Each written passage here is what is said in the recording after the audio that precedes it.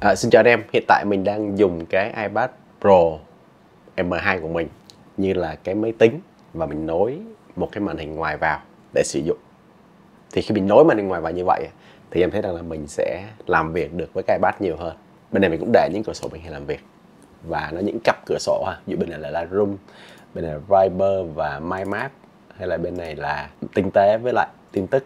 Tức là bây giờ mình sẽ làm được nhiều việc hơn với cái iPad của mình, bởi vì mình nói đó là cái màn hình to hơn, kết nối nó vào hệ thống chuột bàn phím bên ngoài, và mình ngồi mình làm việc với nó giống một cái máy tính hơn. Bây giờ mình chia sẻ với anh em là làm việc với nó thì có gì hay, có gì dở, máy nào làm được như vậy? Và cái lịch sử liên quan tới cái chuyện là nối cái iPad ra ngoài cái màn hình ngoài. Rồi, xin mời anh em. Cảm ơn OneWay Mobile đã đồng hành cùng mình trong cái chủ đề này. Anh em có nhu cầu mua sản phẩm công nghệ nói chung hay là những cái sản phẩm Apple nói riêng, anh em có thể ghé onewaymobile.vn để xem. Xin cảm ơn anh em.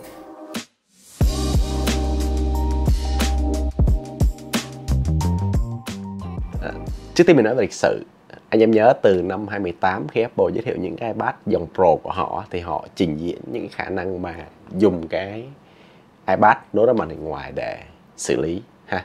Tuy nhiên lúc đó, nó chỉ dừng lại ở cái việc là khi anh em dùng ứng dụng xử lý hình hay là video thì cái màn hình iPad có thể là chứa công cụ để chỉnh sửa thanh kéo này nọ. Còn bên phải là cái màn hình preview chỉnh nhạc đồ đó. Chứ nó không thể nào nối ra hai cái chạy độc lập như mình đang làm như vậy.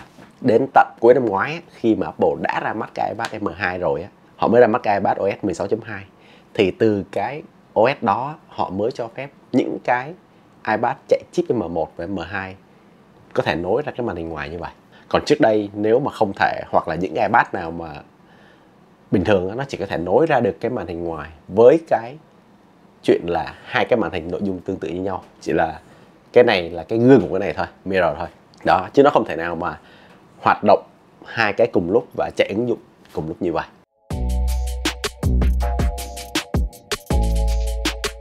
Cái lý do mình nghĩ đó là nếu mà sử dụng những con chip trước cái M1 M2 á, thì cái máy nó không đủ sức mạnh để nó kéo hai cái màn hình cùng lúc. Hay ví dụ như là mình đang để một cái màn hình iPad này và cái màn hình 4K này thì nó khoảng 6K nếu mà ở nhà mình mình cũng để một hệ thống tương tự á, thì nó khoảng 8K đó, thì như vậy nếu một con chip mà nó dành cái việc để nó kéo nó không thôi á, nó sẽ mệt mỏi rồi. Và do đó nó sẽ không làm việc đa nhiệm cho đó là cái chuyện Apple để đến M1 M2 thì mình thấy là hợp lý.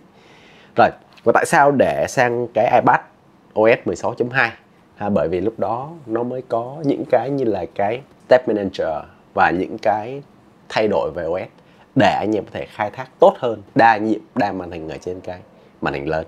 Còn trước đây thì nó khó hơn. Một số cái máy Android nó có thể xuất ra màn hình ngoài tuy nhiên nó sẽ không ngon bởi vì là nó yếu nó kéo không được cái màn hình.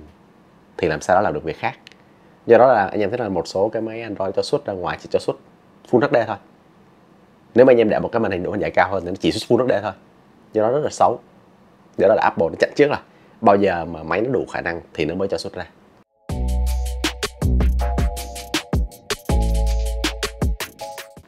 Mình làm gì với lại cái hệ thống này? Thì công việc của mình là, thứ nhất là lên mạng.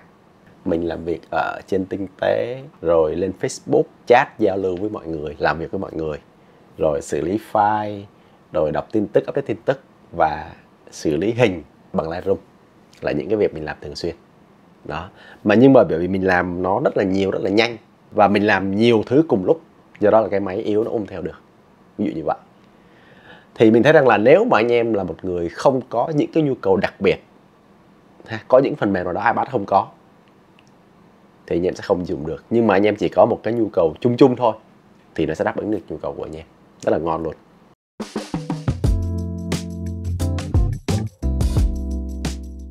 Vậy thì nối iPad với lại cái màn hình ngoài nó có cái gì hay và nó có gì dở? Ha, bây giờ mình nói về cái hay. Cái hay thứ nhất, iPad là một hệ điều hành xây dựng trên cái iOS, tức là thế hệ mới.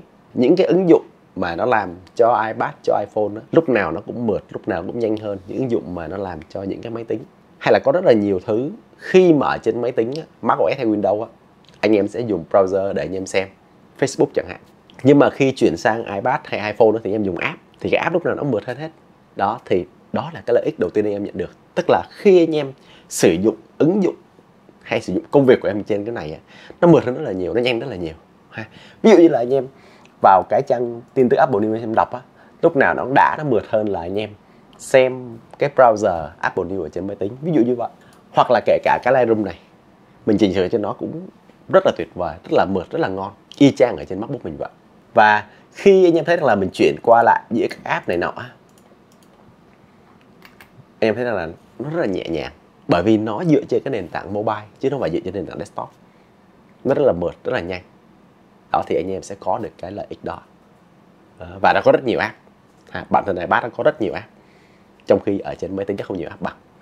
Kể cả những app chat như là Viber, Telegram hay là Zalo gì đó hay là chat Facebook đặc biệt là chat Facebook thì ở trên cái iPad nó cũng ngon hơn là ở trên máy tính. Đó, thì cái đầu tiên là như vậy. Do đó là khi mà anh em xài anh em sẽ thích, bởi vì nó nhẹ nhàng, nó mượt mà.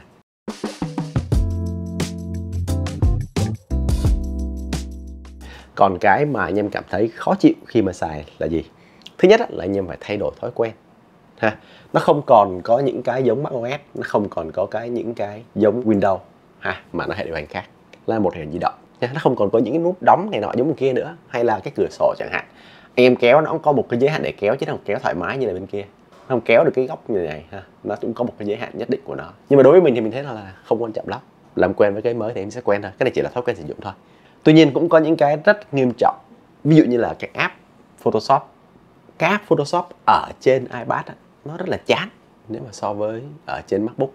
Trong khi cái app Lightroom thì nó ngon hơn. Thì app Photoshop nó rất là khó xài à, những phím tắt này nọ những cái retouch này nọ nó không bằng.